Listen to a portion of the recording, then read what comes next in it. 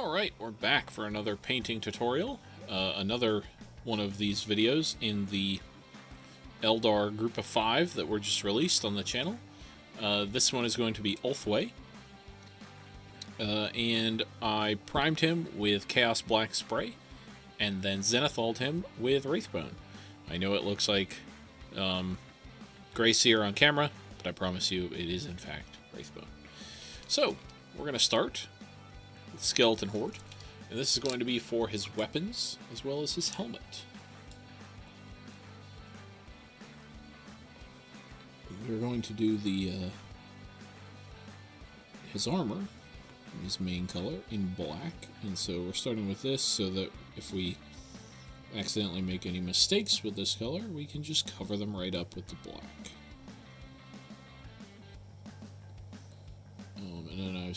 As I've said before, if you're wanting to get a want to get smooth, consistent color with your contrast paint, you want long strokes like this. You don't want to be choppy. Um, and on these big flat surfaces, you can run into that problem of choppiness quite a bit. So you just want big long strokes so that you don't get any of that. Weapon here. Make sure the front didn't get dinged while I was doing the others.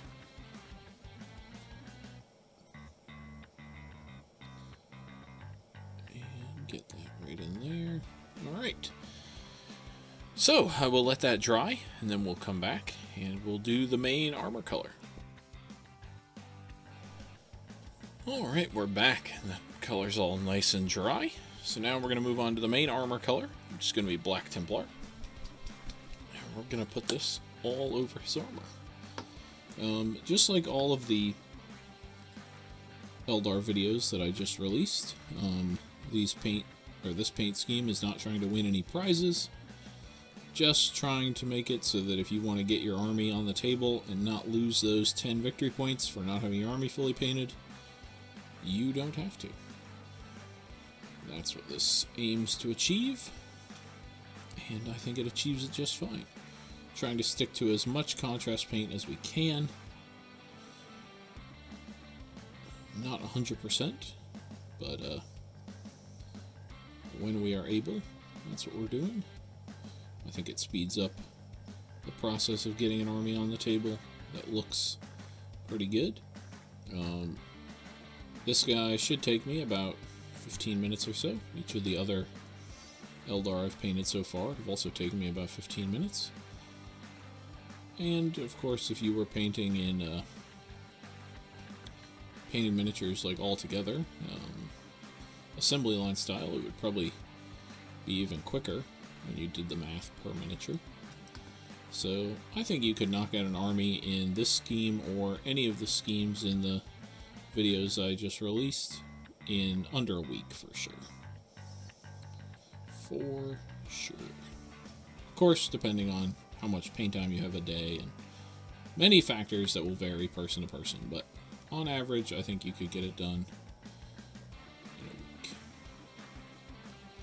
So I'm just going to finish up the armor here, making sure we cover all this primer. And then I will let that dry, and then we'll come back and lay down some base coats for our gems. Alright, our black is nice and dry, and I forgot to mention that I was also going to put it on the faceplate there. So I did that. Uh, now we're going to move on to the base coat for our gems, and it's going to be with some plate mail metal from Scale 75. And so we're going to put it on all of the gemstones that we see around this miniature, as well as a couple other details. But we're going to start off by doing it on the gems. We're going to use a contrast paint on these gems, but in order to give it a a shine, and so we didn't have to avoid them all while doing the black, we're just going to uh, paint them in with silver first.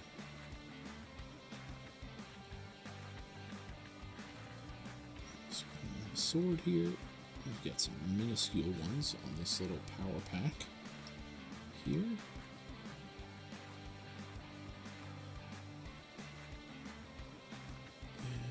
Let's see, some more on the leg.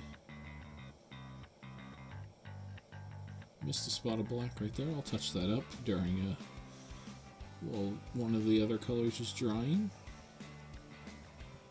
Not a problem.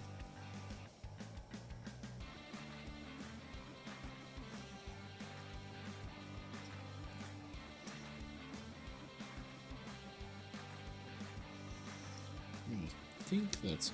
Oh, no, there's one up here. Okay. Oh, and one here. I missed this one.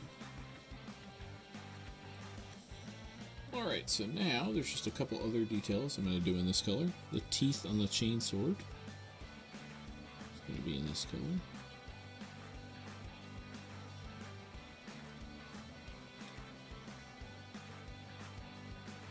Oh, and I missed this gemstone right here. Okay. And then this little power pack thing right there, whatever that is, do that in silver as well. The only other thing to do is I made a little bit of a mistake when I was putting the silver on. I have a little bit of silver right here on this chainsword. So I'm just going to take a wet brush and see if I can't scrub that back off. If not, it's not the end of the world. But we'd like to try. Cut it off a little bit. It's good enough. Close enough for government work, as they say. Uh, I'm just going to do the eyeballs, I realized, in silver as well. Just get a little bit of that in there. And in there. And there's a gemstone I missed. So, I'm going to let this get nice and dry.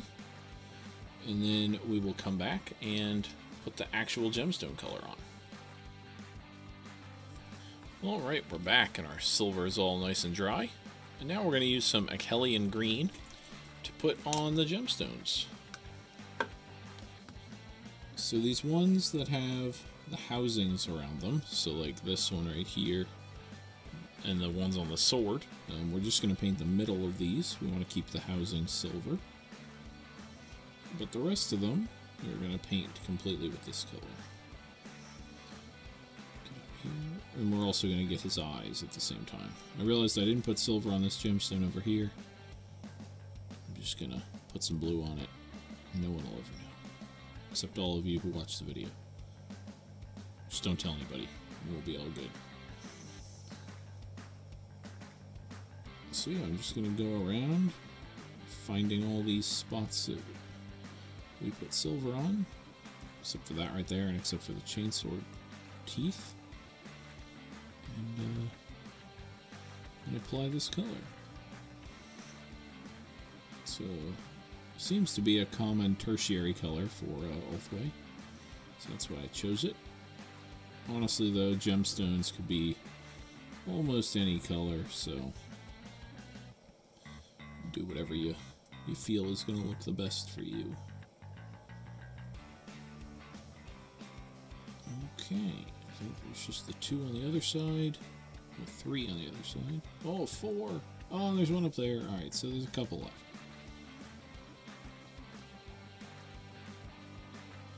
There we go. Alright. So now we're just gonna... Ooh, missed a couple more. There we go. Alright, so now we're going to jump straight into the next color because it's a quick one. We're just going to take some Blood Angel red and do the plume on his helmet.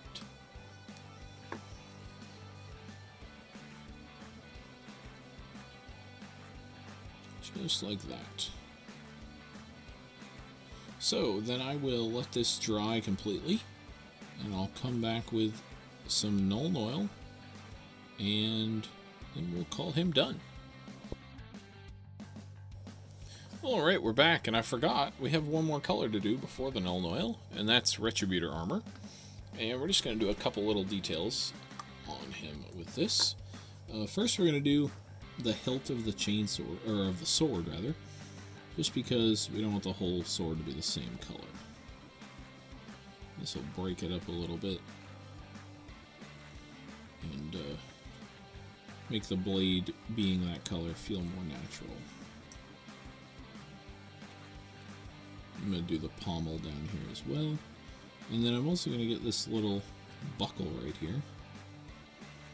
Uh, and then we're going to get the buckles where they appear on the rest of the miniature.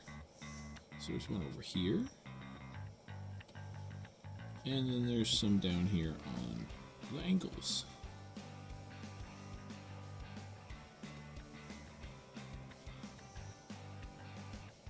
There we go.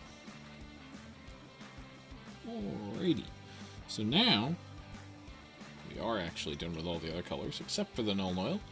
Um, I will let this gold dry, then I'll come back, do the Nuln Oil for real this time. Alright, we're back, and it's time for our last color, our trusty Nuln Oil. So, we're going to put this on the metallic areas. So the we'll start with the chain sword teeth here. Go along here like that. And the other side. Just wipe off any that you get on the main area of the chainsword. Then I'm going to put it in a couple spots on the, the dude itself just to give the miniature a little bit more contrast. It won't be super noticeable because it is black on black here, but uh, just enough to matter. I'm going to put it in here, not on the helmet there. I'm going to put it on the hilt here, the sword, and down here. There we go Down here. All these buckles on his legs.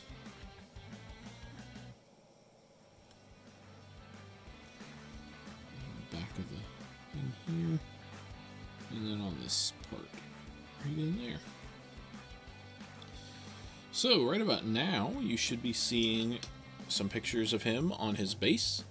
Not a crazy base, but again, not a crazy paint job. We just want to get the army on the table and get ourselves those 10 points so we don't lose a game for a silly reason.